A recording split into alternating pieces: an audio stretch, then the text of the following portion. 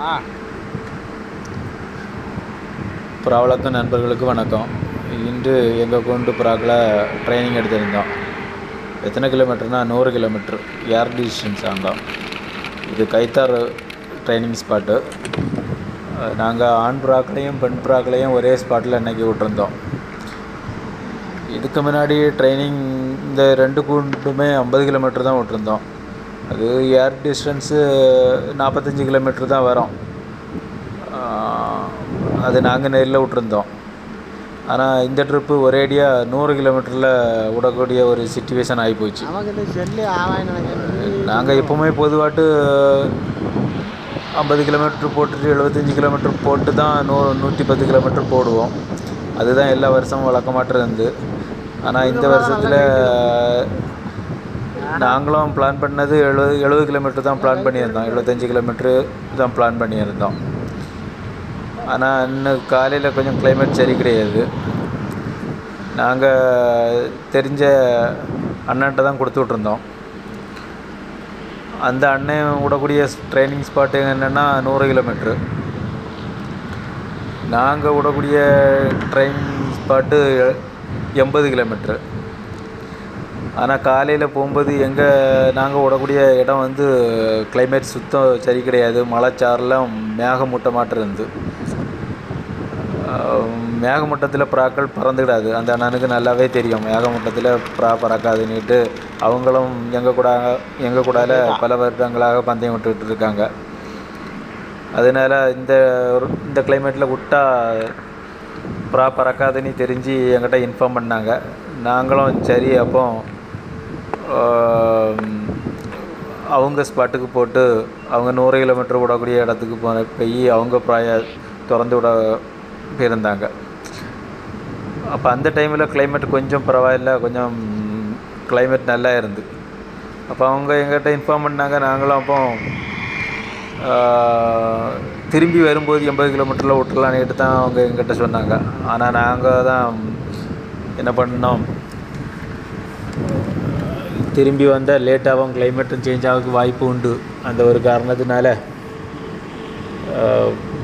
பிரச்சனை இல்லை. புறாக்கள் வரணிட்டு ஒரு நல்ல நம்பிக்கையில் திறந்து விட சொல்லிட்டோம்.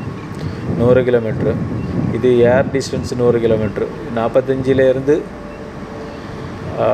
நூறு கிலோமீட்ரு தூக்கக்கூடிய நேரத்தில் ஐம்பத்தஞ்சு கிலோமீட்ரு ஜம்ப் கொடுத்தோம். புறாக்கள் அந்தளவு ட்ரைனிங்கே இதுக்கு முன்னாடி கிடையாது.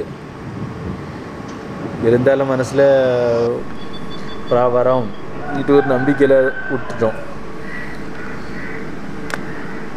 பொதுவாக நூறு கிலோமீட்ரு ஏர் டிஸ்டன்ஸு புறாக்கள் கிடக்குன்னா ஒரு மணிக்கு ஒரு பத்து நிமிஷத்தில் ரீச் ஆகணும்.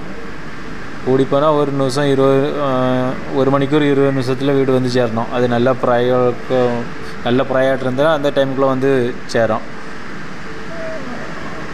பந்தயத்துலலாம் ஒரு மணிக்கு ஒரு அஞ்சு நிமிஷம் பத்து நிமிஷத்துலலாம் ப்ரா விழுந்துடும் அப்படி உள்ளக்கூடிய ப்ராயலுக்கு பிளேஸ்மெண்ட் கிடைக்க வாய்ப்பு உண்டு ஆனால் எங்கள் ப்ரா வரவே இல்லை.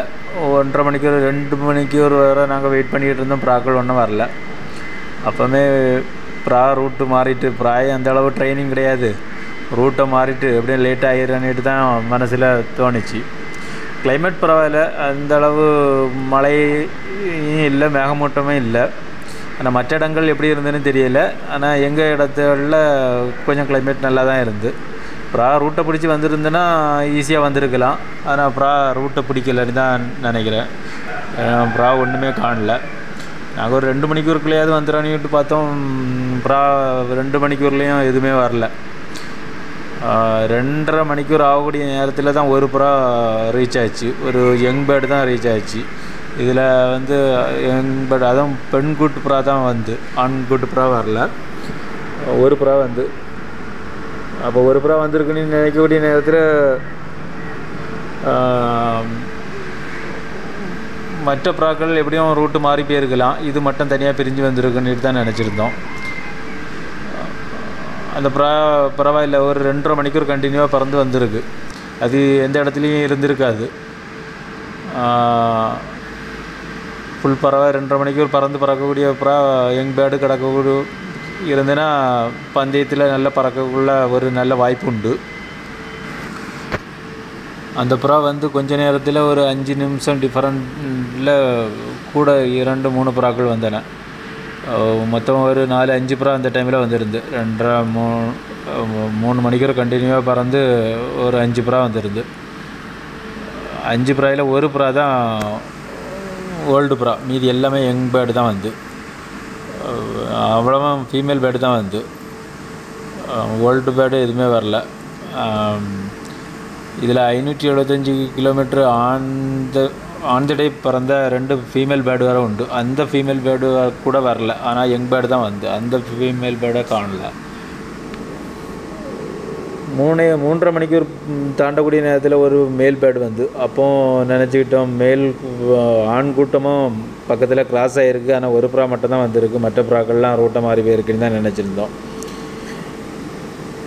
அது வரக்கூடிய கணக்கை பார்த்தா எப்படியும் நிறைய ப்ராக்கள் லேட்டாக தான் வரோம். அந்த மாதிரி தான் நாங்கள் ஏம் பண்ணியிருந்தோம். ஏன்னா எங்களுக்கு அந்தளவு ட்ரைனிங் கிடையாது. கண்டினியூவாக அரை மணிக்கு வர வீட்டு பக்கத்தில் பறக்காது.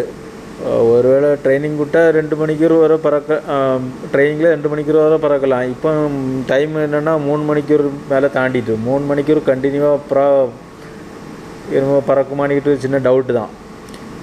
முடியாத பறக்கல் எங்கேயும் இருந்துட்டு ரெஸ்ட் எடுத்துகிட்டு மீண்டும் எழும்பி தான் பறக்கும். அது உடனே பறக்காது. எப்படியும் லேட்டாக தான் பறக்கும். நாங்கள் அப்போ நினச்சோம் மத்தியானத்துக்கு மேலே ப்ரா எழு அந்த அளவு வரோம். எப்படியும் ரெஸ்ட் எடுத்துருக்கோன்னு நினச்சோம். ஒரு மணிக்கு முன்னாடி பன்னெண்டு புறாக்கள் வந்துட்டு நாங்கள் மொத்தம் விட்டது முப்பத்தி நாலு புறா. முப்பத்தி நாலு புறாயில் பன்னெண்டு புறா தான் வந்திருந்து பாக்கி எல்லா புறாயும் வெளில கிடந்துருந்து இப்போ காலையில் ஃபுல் பறவையில் பன்னெண்டு புறா வந்திருக்கு. சாயங்கால நேரத்தில் மீதி புறாக்கள் கொஞ்சம் ஜாஸ்தி வரும். இன்றைக்கி ஒரு இருபது புறா வந்தால் கூட நாளைக்கு ஒரு பத்து வந்துட்டுனா நல்லா இருக்கும். அந்த கணக்கில் தான் நாங்கள் நினச்சிட்டு இருந்தோம். ஆனால் நாங்கள் நினச்ச கணிப்பு டோட்டலாக உல்ட்டாவாக இருந்து மத்தியானத்துக்கு மேலே எந்த பிராயமே ரீச் ஆகலை. எங்களுக்கு அதுக்கு பிறகு தான் பயம் கொடுத்து ப்ரா டோட்டலாக வேறு ரூட்டுக்கு போயிட்டு ப்ரா பக்கத்தில் இருந்துன்னா மத்தியானத்துக்கு மேலே ப்ராக்கள்லாம் எலும்பி வரும். ஆனால் மத்தியானத்துக்கு மேலே ப்ராக்கள் எலும்பி வராதனால ப்ராக்கள் நிறைய மிஸ் ஆகும் இல்லைன்னா லேட்டாக தான் வரோம் அப்படின்ட்டு யோசித்தோம். நாங்கள் யோசித்தபடி புறாக்கள் சாயங்காலம் அஞ்சு மணிக்கு தான் ஒரு ஃபீமேல் பேர்டு வந்து. மற்றபடி மத்தியானத்துக்கு மேலே எந்த பிராயம் வரல. சாயங்காலம் ஆறரை மணி வரை மொத்தம் பதிமூணு புறாக்கள் தான் புறாக்கள் தான் ரீச் ஆயிடுச்சு. பாக்கி இருபத்தோரு புறாக்களை காணல. இந்த மாதிரி நம்ம ட்ரைனிங் உடைச்சவும் கொஞ்சம் சின்ன மிஸ்டேக் சின்ன மிஸ்டேக்காக தான் இருக்கும். நம்மளுக்கு பெரிய அளவில் பாதிப்பு இருக்கும். அதனால எப்போவும் ட்ரைனிங் விடக்கூடிய நேரத்தில் சரியாக தான் விடணும்னு நினைப்போம். ஆனால் ஏதாவது ஒரு இயற்கை மாற்றத்தினாலேயோ இல்லை நம்ம பண்ணக்கூடிய தப்புனாலேயோ புறாக்கள் நிறைய தொலைகிய வாய்ப்பு இருக்கும். எந்த வருஷமும் இப்படி தான் நினைப்போம். இந்த தப்பு அடுத்த வாட்டி பண்ணிடக்கூடாது அடுத்த வாட்டி பண்ணிடக்கூடாதுன்னுட்டு ஆனால் இந்த வாட்டியும் ஒரு தப்பு பண்ணியிருக்கோம். அதிகமாக டக்குனி ஜம்பு கொடுத்தது ஒரு தப்பு. இடையில ஒரு எழுபது கிலோமீட்டர் போட்டுக்கிட்டு தான் தூக்கியிருக்கணும். அந்த ஒரு இன்னைக்கு கிளைமேட் நல்லா இருக்கணும். நைட்டு மழை எதுவுமே இருக்கக்கூடாது. மழை இருந்ததுன்னா புறாக்கள் அதிக அளவு தொலையக்கு வாய்ப்பு உண்டு மழை இல்லாமல் இருந்துன்னா நாளைக்கு ஓரளவு புறாக்கள் ரிட்டர்ன் ஆகும். எத்தனை ப்ராக்கள் ரிட்டர்ன் ஆச்சுன்னுக்கிட்டு அடுத்த வீடியோவில் நான் உங்களுக்கு அப்டேட் பண்ணுறேன் சாயங்காலம் ஏழு மணிக்கு பிறகு ஒரு ப்ரா இது நல்ல நேரம்லாம் இருட்டுன பிறகு வர ஒரு பிராந்தி வந்து இறங்கிச்சு. அதை பார்க்கும்போது கூட நல்ல சந்தோஷமாட்டு தான் இருந்து. ஆனால் நிறைய புறாக்கள் வெளியில் இருக்குது அது என்ன கண்டிஷனில் இருக்குன்னுட்டு தெரியலை. ஆஹ் ஏழைகாலுக்கு ஒரு புறா வந்து வீட்டில் வந்து இறங்கிச்சு. கூட்டெல்லாம் அடைச்ச பிறகு வெளியில் லைட்டு போட்டிருந்தோம். ஏதாவது இதுக்கு முன்னாடி கூட நூறு கிலோமீட்டர் ட்ரைனிங்கில் ரெண்டு வருஷத்துக்கு முன்னாடி பத்து நைட்டு பத்து மணிக்கெல்லாம் புறா வந்து இறங்கியிருக்கு. நைட்டும் புறாக்கள் பறக்கும். ரோமர் புறாக்கள் பொதுவாக இந்த ட்ரிப்பும் கொஞ்சம் லேட்டாக இருட்டம் பிறகு வர ஒரு புறா வந்து இறங்கியிருக்கு. நம்ம அடுத்த வீடியோவில் நான் வந்து லேட்டாக எத்தனை புறாக்கள் வந்தேன்னு போ சொல்கிறேன் இந்த ட்ரைனிங்கில் இன்னும் கொஞ்சம் புறா கூடுதலாக ரிட்டர்ன் ஆகிட்டுன்னா இன்னும் ஒரு ட்ரைனிங் தான். அதுக்கப்புறம் பந்தயத்துக்கு போயிடலாம் பந்தயம் அடுத்த மாதம் எட்டாந்தேதி அது ஸ்டார்ட் ஆகுது. அதனுடைய வீடியோவும் தொடர்ந்து போட்டுட்ருக்கிறேன் உங்களுக்கு தொடர்ந்து வீடியோ பார்க்கணுன்னா சேனலை சப்ஸ்கிரைப் பண்ணி வச்சுடுங்க. பந்தயத்தை பற்றி முழு வீடியோவும் போடுறேன். ஓகே ஃப்ரெண்ட்ஸ் வீடியோ பிடிச்சிருந்துன்னா சப்ஸ்கிரைப் பண்ணுங்கள்